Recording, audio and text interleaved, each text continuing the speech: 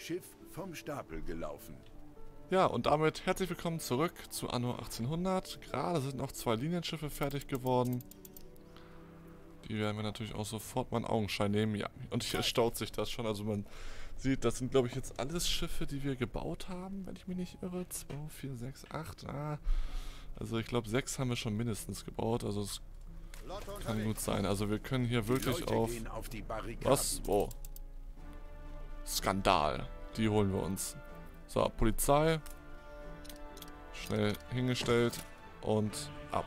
Inhaftieren. So. Ich dulde keinen Widerspruch. Ihr sollt rumproduzieren.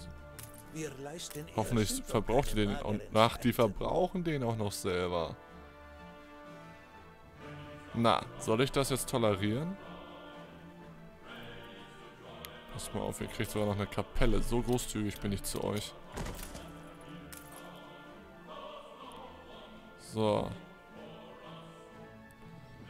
Rum verbrauchen die. Das ist ja interessant. Ja, pass auf, dann tue ich den raus. So. Dann gehen zwar wieder zwölf Ruf verloren oder Zufriedenheit. Aber dafür ist jetzt dieses Schiff voll beladen. Das kann jetzt gleich ablegen. Genau genommen jetzt. und ist jetzt Segel, hervorragend. Es begibt sich auf die gefährliche Überfahrt über den Atlantik. Und die laute Musik im Hintergrund. So, Zeit, einen Blick auf die Weltkarte zu werfen. Und ich sehe noch nicht den das zweite Schiff.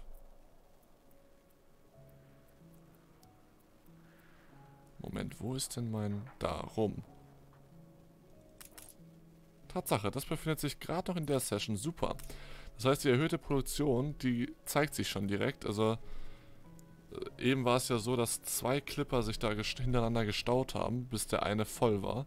Und jetzt ist der andere gerade erst da gewesen und schon fährt der nächste los. Das heißt, wir haben, glaube ich, eine ziemlich gute Produktion an Rum.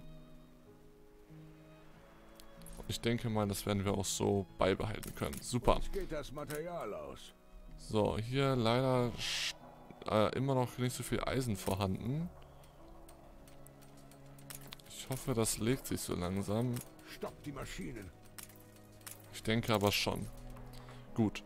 Apropos Baumaterialien, wir müssen eine ganze Menge wieder mitnehmen. Also Fenster lade ich diesmal voll. Ich nehme auch 50 Tonnen Stahlträger schon mal mit. Und einfach nochmal 50 Tonnen Holz, einfach weil wir hier ein volles Lager haben und dort hinten es immer noch so ein bisschen länger dauert. So, und 150 Tonnen Holz schleppe ich nochmal nach hier oben. Einfach für... Die Straßen sind mh, hm. wieder sicher. Für zwei nette Linienschiffe. Ja, tatsächlich ist es gerade auch nur das Holz, was uns fehlt. Wir haben wirklich mit unserer Produktion einfach einen extrem hohen... Ah, guckt mal, hier, besonderer Schrott heißt also die dritte Stufe. Sehr interessant, schöner Schrott und Schrottschrott. -Schrott. Gut, also 250 Tonnen und 300 Tonnen Segel, super. Also wir haben hier eine riesige Produktion an Linienschiffen, hervorragend. Ich glaube, es war auch die bessere Entscheidung, als jetzt hier extrem viel Geld für Schlachtkreuze auszugeben. Denn wir wären jetzt im richtigen Minus und hätten dann auch noch eine extrem teure Flotte, während wir hier jedes Schiff nur 250 Unterhalt kostet. Und sie schnell gebaut sind und trotzdem auch noch eine extrem hohe Feuerkraft haben. Ich glaube, es war besser, es so zu machen. Und ich will auch eigentlich gar nicht wissen, wie viele Linienschiffe wir hier schon haben. Ja, definitiv das ein oder andere. Gut, äh, wie geht's weiter? Hier haben wir einen Auftrag. Wir dürfen uns nicht auf uns jetzt Lieferaufgaben. 18 Tonnen Fische, die kriegt ihr. Gibt es hierfür eine Lösung? Wirklich effizient. Und wir haben ein stark vergrößerndes Teleskop bekommen. Das heißt, wir haben jetzt das einmal in der seltenen Variante und einmal in der epischen. Okay. Gut, was sagt das Eisen hier? Boah, das steigt ja wirklich. Ich gebe zu bedenken, dass wir beim Beginn dieser Produktion gerade mal bei plus 20 waren im Lager. Und jetzt sind wir schon bei 221. Und wir haben jetzt sogar noch eine Nährmaschinenfabrik. Gut, dafür haben wir natürlich noch das, den dritten Hochofen aufgestellt, die sich aber ausgleichen. Das heißt, es kommt nur von diesen zwei Hochöfen. Und wir laden hier noch einmal ab. Und bringen dann schon mal die zwei nächsten. Der Grace wird nur gucken. Der wird einfach nur gucken. Oh, kleines Dorffest in Omes... Oh Mann, Omesthmen. Wie spricht man denn das hier bitte aus? Vier, ähm... Nicht Vokale, wie heißt das andere? Jetzt wird's peinlich. Äh, Konsonanten, das war das Wort. Vier Konsonanten hin hintereinander. Schwierige Sache. Ja, der gute alte Karnevalszug aus Anno 1701. Also ich könnte wetten, das ist hier angelehnt daraus. Also zumindest teilweise. Dieser Spielzug, der da durch die Straßen läuft. Zumindest die Musik, das ist dieselbe. Das würde ich sogar jetzt schwören. Dass die Musik bzw. die Melodie dieselbe ist. Wie in Auftrag? 1701. Also es ist äh, immer wieder faszinierend, die ganzen kleinen Details, die man dann wieder erkennt, wenn man schon andere Teile gespielt hat. Boah, was man hier machen müsste, wäre einfach hier einmal 20 Linienschiffe reinsetzen und dann wäre hier auch Feierabend. Also es gibt wirklich gute strategische Punkte, die man besetzen kann, um es dem Graves beim Krieg extrem schwer zu machen. Neue Ziele? Denn so eine Flotte hier, die kann er nicht einfach eben versenken. Also nicht mal mit den Schiffen hier. Das sieht zwar jetzt so viel aus, es sind aber wirklich im Großen und Ganzen jetzt im Bild nur vier Linienschiffe und der Rest ist Müll.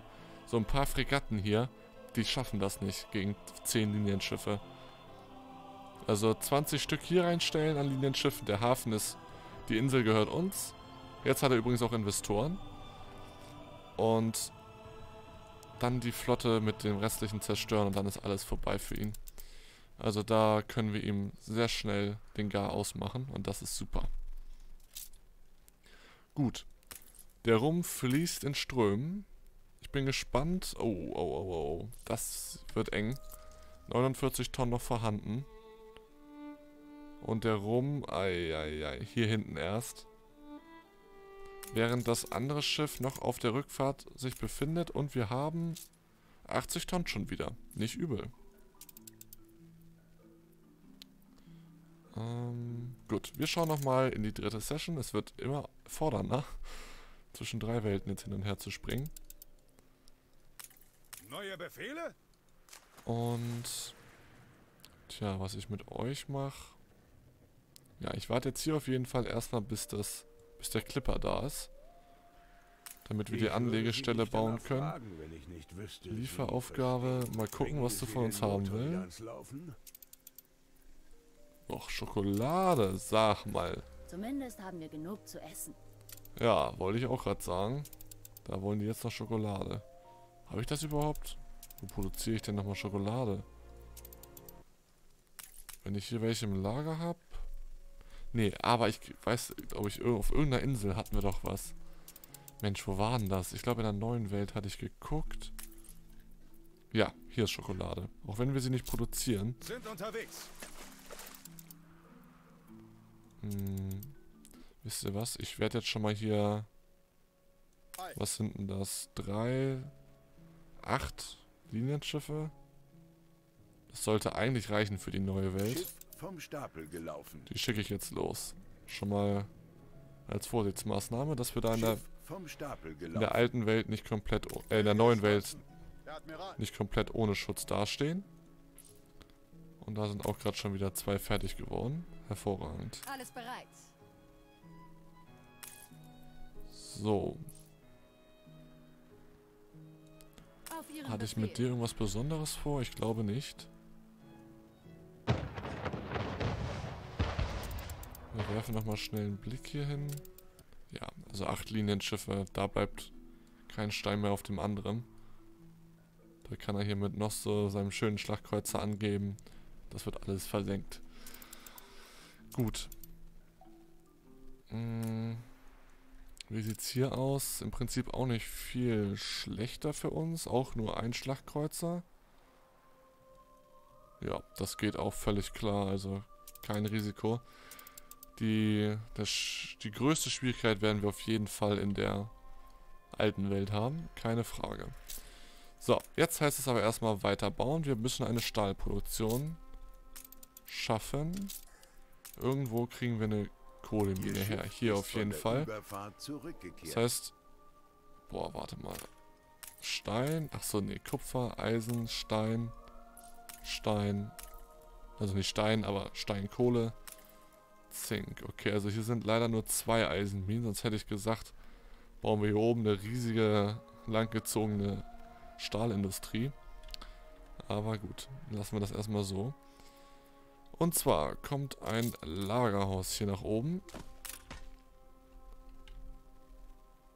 Äh, ich hoffe, findest du deinen Weg auch schon so? Jawohl, du findest deinen Weg auch so. Super. Ne, Moment, ich will hier aber nicht diesen Weg hier so... Hier kann von mir aus die, die Brücke rüber. Hier den schönen Wasserfall wollte ich jetzt nicht äh, verschandeln. Ja, definitiv besser. Ach, hier ist es auch passiert, egal. So schlimm ist es dann auch nicht. Äh, wir brauchen dringend eine Eisenmine. Moment, da kommt sie hin, super. Und dann kommt hier eine Kohlemine hin. Das heißt, wir brauchen keine Köhlerhütten, was sehr, sehr schön ist. Ich kann mir direkt zwei Hochöfen leisten. Und da gehören dann drei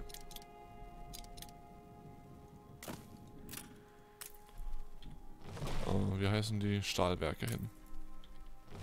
So, und die können wir hier auch noch ein bisschen schöner hinbauen.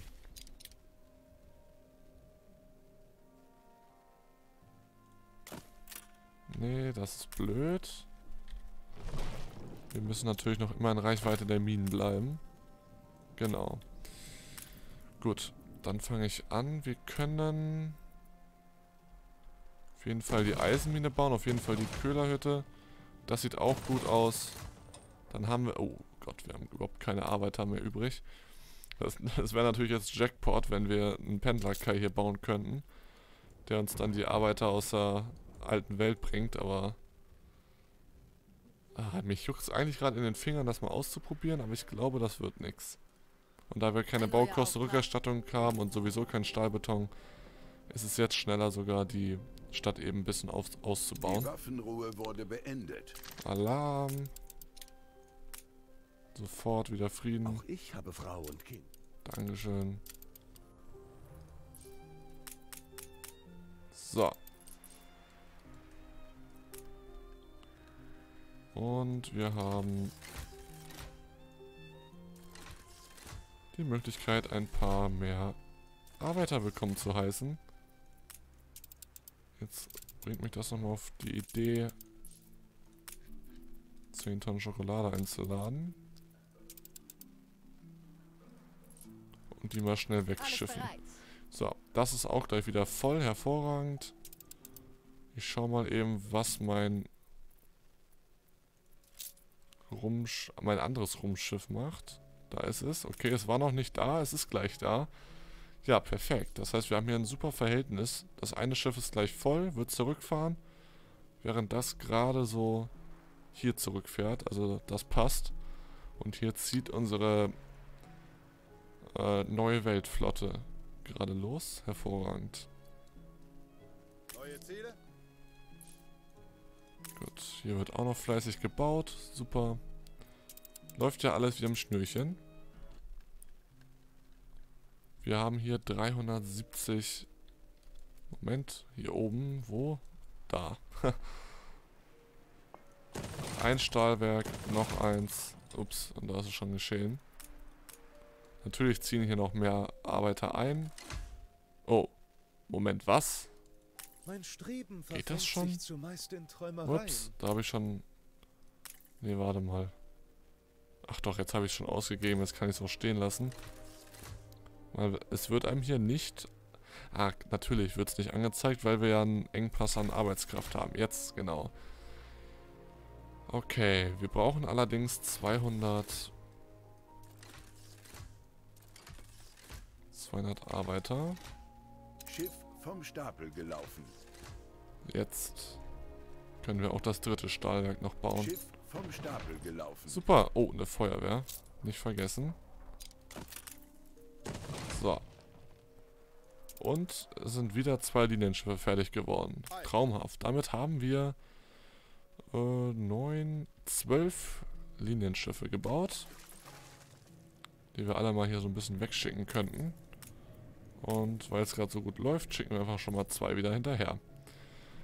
Ja, zwölf Linienschiffe, sechs Stück, nee, acht Stück noch. Die kommen dann alle hier in den Hafen. Und dann bauen wir noch ein paar Schiffe, die sich dann um die ähm, um die dritte Welt kümmern Ein werden. neuer Auftrag? Und hier liegt es echt nur am Holz. Immer wenn es hier ausgegraut wird in der Werft, habe ich das Gefühl, dass wir wieder irgendwie nicht genug Kanonen haben, weil es bisher immer daran lag. Aber es ist tatsächlich einfach nur Holz, was uns fehlt. Hier ist es genau andersrum. Hatte ich nicht sogar eine Kanone? Nee, hatte ich gar nicht. Na ne, gut, dann ist auch okay. Dann ist auch okay. Und hier geht auch die... Moment. Soll ich jetzt ein Stahlwerk noch bauen? Beziehungsweise wieder in Betrieb nehmen lassen? Na, ich weiß nicht. Ich lasse es erstmal lieber. Also zwölf stolze Linienschiffe, ergänzt gleich von weiteren zweien. Gut.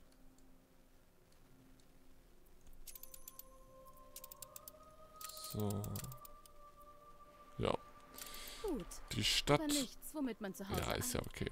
Die Stadt verliert so langsam an. Attraktivität. Und wo kommt jetzt... Ach so, der Sekt kam ja von der Expedition, richtig. meldet sich zum Dienst.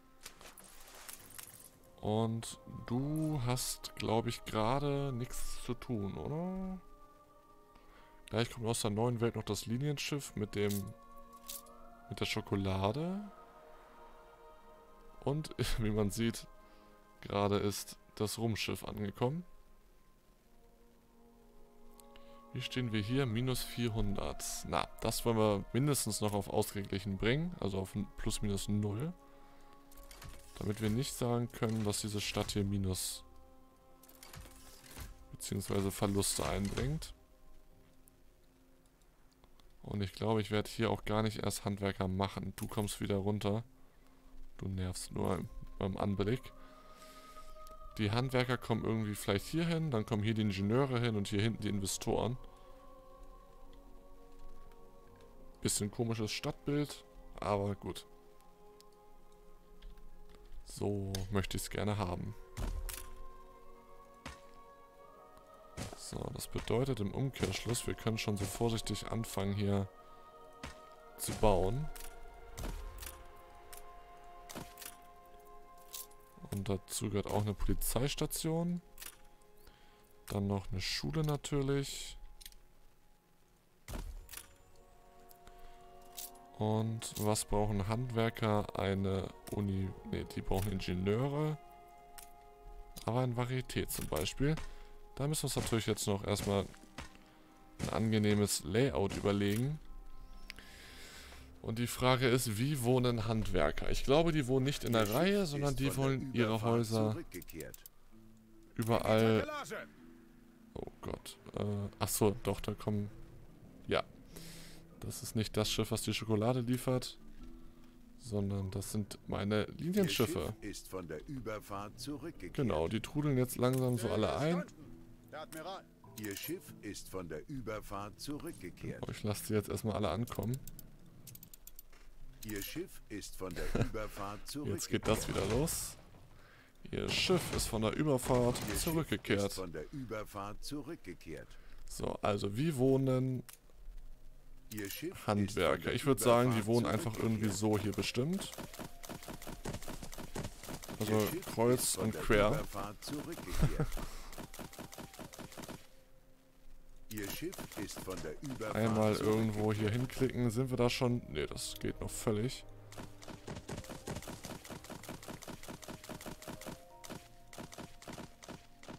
So ungefähr. da müssen wir jetzt natürlich erstmal versuchen, hier so, eine, so einen Weg durchzufinden. Aber das lassen wir, glaube ich, das Spiel einfach machen. Und ich würde sagen, die Zwischenwege, die werden einfach nur ausgehöhlt. Mit Bäumen, ein paar Sitzmöglichkeiten.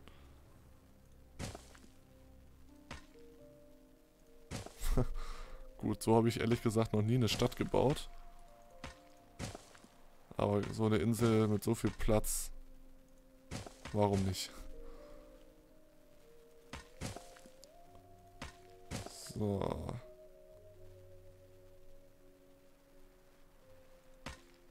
Ups, okay, so. Ihr Schiff ist Denk von mal, das können wir erstmal so lassen. Ich werde auf jeden Fall hier die Häuser, die schon eine Straßenanbindung haben, erstmal so bauen. Dass wir da schon mal einen groben Überblick bekommen, beziehungsweise von dem, was möglich ist. Und dann haben wir hier so unseren kleinen Hügel, wo die Handwerker, wo die Künstler ihrer Fantasie freien Lauf lassen können.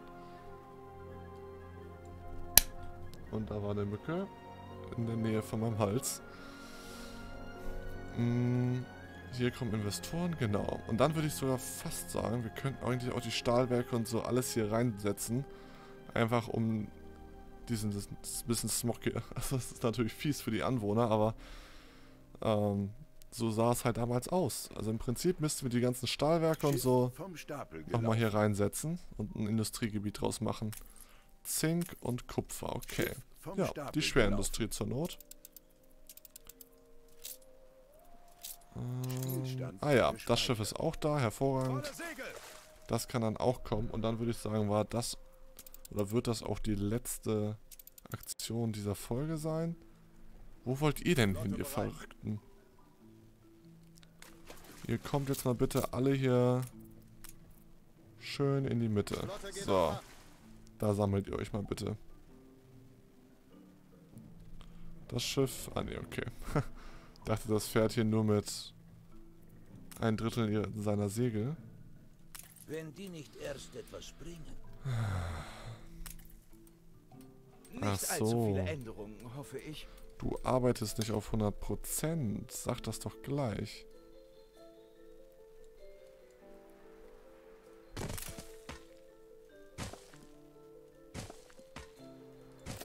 So, dann kommt halt noch einer dahin und jetzt passt das auch wieder.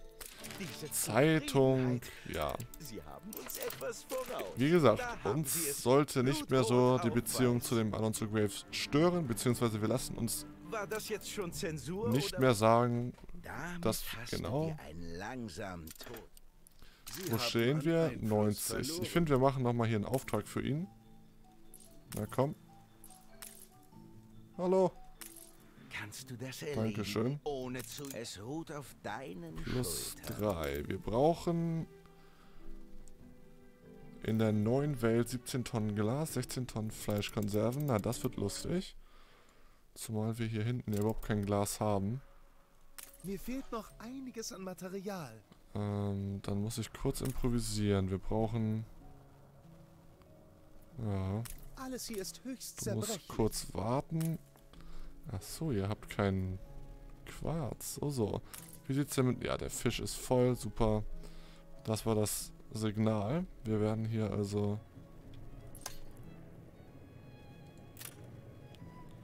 Ja, wobei, die Werft kann eigentlich weg. Super, dann haben wir hier auch wieder Platz. Da ist eine Straße. Gut, das heißt, das Verhältnis war hier wie, wie zu wie? 1 zu 1, ne? Genau. Oh Gott, das wird ja richtig wenig. Stimmt, wir hatten doch hier hinten... Jawohl. Hm, passt leider keiner mehr ran.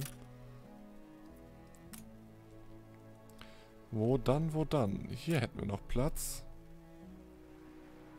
Allerdings keine Arbeiter, weil... Die Lager sind voll. Oh, wir haben zu viel Eisen hier. Ähm, naja gut. Dann müssen wir uns in der nächsten Folge überlegen, wie wir an das Glas kommen. Ich habe jetzt mal hier einen Betrieb pausiert.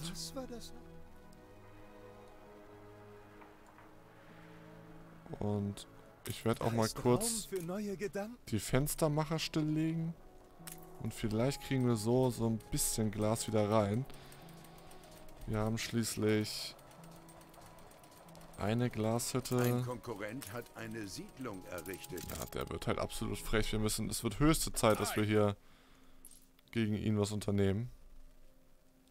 Der holt sich hier eine Insel nach der anderen und das geht leider überhaupt nicht. So. Gut. Das wird also erstmal unser Künstlerviertel. Platz für dich an meiner Wand ausgesucht. Ja, wollen wir es noch einmal zahlen? Ich wäre bereit, noch einmal Geld zu zahlen. Damit wir noch, noch mehr Schiffe bauen können.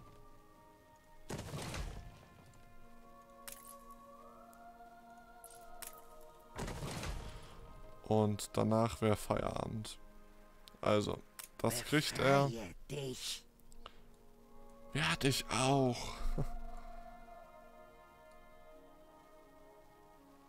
Gut. Also, da müssen wir natürlich noch ein bisschen optisch dann verfeinern, aber so könnte unser Handwerkerviertel aussehen. Äh, während wir hier uns wirklich mal Gedanken machen müssen um den Grace. Denn der wird richtig frech. Also erstmal wieder zwei Schiffe in Auftrag geben. Und Oh, erster Seelord. Das ist, äh, nee, schon wieder falsches Fenster hier oben. Nee, hier, Militär. 252 Einflusspunkte Sie für die, Einfluss für die Linienschiffe. Der erste Seelord ist der höchste Grad der Marine der britischen, der Royal Navy, wenn ich mich recht entsinne. Und dieser wird, glaube ich, sogar nur zu Kriegszeiten ei- ernannt. Also gerade haben wir, glaube ich, also wir nicht, aber die britische Marine hat, glaube ich, gerade gar keinen. Und der erhöht die Angriffsgeschwindigkeit um 25%. Das ist saugeil. 25% schneller schießen. Bei Linienschiffen ist das absolut verheerend. Also super. Ich würde sagen, wir machen jetzt noch den Rest hier 130 Punkte in Linienschiffe und dann geht's aber geht's aber los gegen den Admiral, äh Quatsch, gegen den Alonso Graves. Dann werden wir dem mal Hallo sagen. Flotte bereit. Ja, wir können sie ja schon mal hier Probe hinstellen. Nein, Quatsch. Die lassen wir mal hier. Gut. Dann soll es wirklich gewesen sein. Ich bedanke mich bei euch wie immer fürs Zusehen. Und wo, von wo verabschiede ich mich euch? Ich glaube mit dem Blick auf unseren Teil der Flotte. Das ist ja nur unsere alte Weltflotte, die ja auch noch größer wird. Also, ich bedanke mich bei euch wie immer fürs Zusehen. Und wenn es euch gefallen hat, lasst gerne eine Bewertung da. Und dann sehen wir uns in der nächsten Folge. Bis dahin. Tschüss.